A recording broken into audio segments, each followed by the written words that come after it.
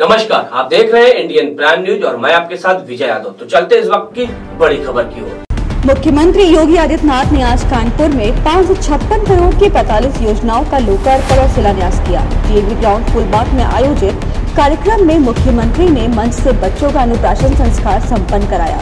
इस दौरान आवास योजना के लाभार्थियों को चाबियाँ सौंपी गई मुख्यमंत्री ने अपने संबोधन में कहा कि कानपुर के लगातार पिछड़ा उद्योग बंद हुए, लेकिन आज यहाँ गंगा का जल शुद्ध हो चुका है। आज शीशा मऊ नाला टैप किया गया है। कानपुर को नई ऊंचाइयों तक पहुँचाना है। यहाँ मेट्रो समय की मांग थी पिछली सरकार ने निराशा छाई थी डिफेंस कॉरिडोर मील का पत्थर साबित होगा।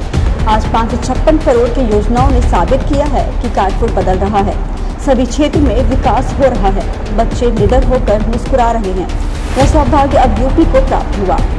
यूपी के सामने पहचान का संकट खड़ा करने का कार्य उन लोगों ने किया जिन्होंने इस प्रदेश के स्वरूप को ही बर्बाद कर दिया था। यह कौन लोग हैं जिन्होंने राजनीति का अपराधीकरण तक किया था और अपराधियों का राजनीतिकरण किया था? दो दिन पहले गोरखपुर में एक दुखद घटना घटी थी।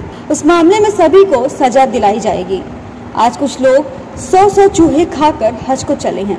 साढ़े चार लाख लोगों को नौकरियाँ दी गई हैं। आज निष्पक्ष नौकरियाँ दी गई। जबकि पूर्व में सिर्फ़ एक परिवार नौकरी नियुक्त करता था।